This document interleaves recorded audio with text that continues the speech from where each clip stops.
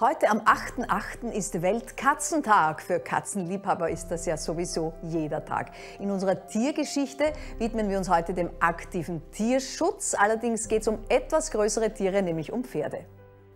Wir besuchen jetzt gleich das Tricky Horse Training Center bei Edelsbach. Dort werden Pferde trainiert, die das Vertrauen in Menschen verloren haben oder ein problematisches Verhalten zeigen.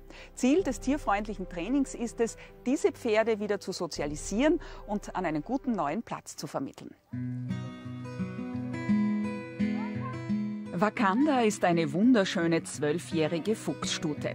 Nach der Trennung ihrer Besitzer ist sie allerdings vier Jahre lang nur auf der Koppel gestanden. Im Rahmen des Projekts Lebenspferd des aktiven Tierschutz Steiermark wurde sie jetzt sieben Wochen lang von Pferdepsychologin Martina Klünzner trainiert. Das heißt, ich musste wieder mit ihr eine Beziehung aufbauen, ihr zeigen, dass der Mensch eigentlich ein guter Partner ist, dass man mit dem wirklich Freude und Spaß haben kann. Und dazu gehört eine große Portion Vertrauen. Ich gehe wirklich auf die Psyche des Pferdes ein, auf den Charakter des Pferdes. Ist es eher ein aktives Pferd oder ist es eher ein Pferd, das eher ruhiger ist? Wakanda hat so große Fortschritte gemacht, dass sie schnell neue Besitzer gefunden hat. Seraphin war beim Training oft dabei und so hat Wakanda das neu gewonnene Vertrauen auch auf sie übertragen. Für uns zahlt sich definitiv aus. Die Martina hat einen super Job gemacht. Das, die Wakanda ist ja auch noch ein relativ junges Pferd, das sehr viel Bewegungsfreude hat, das Spaß hat am Arbeiten, am etwas tun. Und das ist auch etwas, wo ich Spaß habe mit den Pferden auch.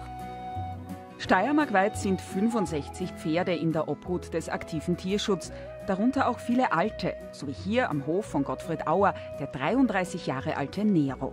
Für ihn und andere Tiere werden so etwas wie Pferdebesucher gesucht. Es ist ein bisschen traurig zu sehen, dass wir sie nur abstellen. Wir, wir wollen nicht nur Verwahrer sein, sondern aktiv mit ihnen was unternehmen und sie freuen sich, wenn dann Menschen kommen und mit ihnen was unternehmen. Denn die Beziehung, die man zu einem Pferd aufbaut, tut den Tieren immer gut, egal ob jung oder alt.